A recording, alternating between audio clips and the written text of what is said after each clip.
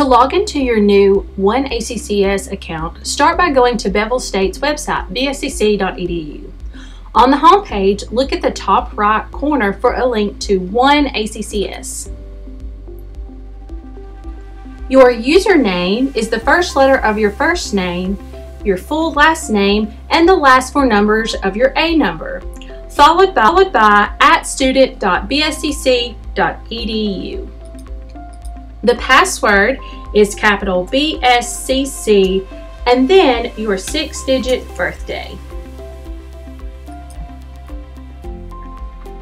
Once you are logged in, to register for classes, click on the Student tab then registration, then look up classes.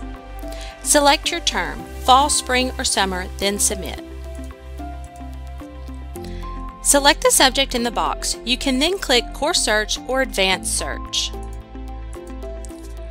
Course Search will bring up all of the classes offered for that subject. Click View Sections to see all the sections offered college-wide.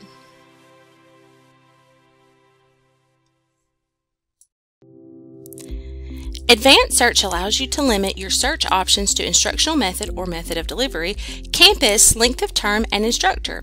If you would like to see all the classes for a particular campus, simply click at the top and hold your mouse clicker down. Select all until all subjects are highlighted.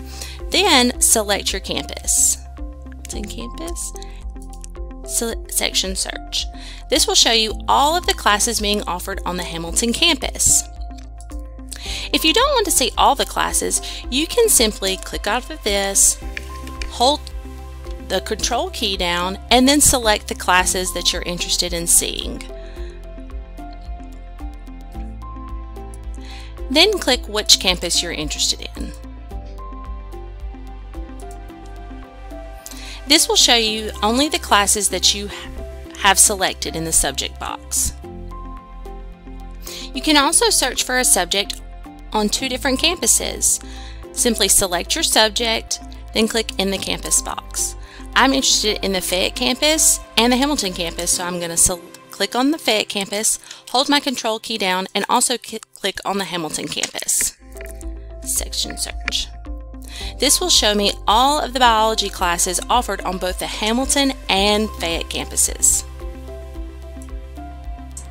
Once you have decided on a course, click the box under the Select column, then click Register at the bottom of the page.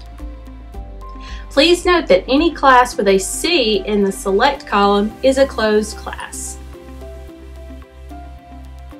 Once you have added all your classes, you can view your schedule by clicking the Student tab, and then Registration, and then Student Detailed Schedule. Don't forget, you can reach a member of Student Services on live chat.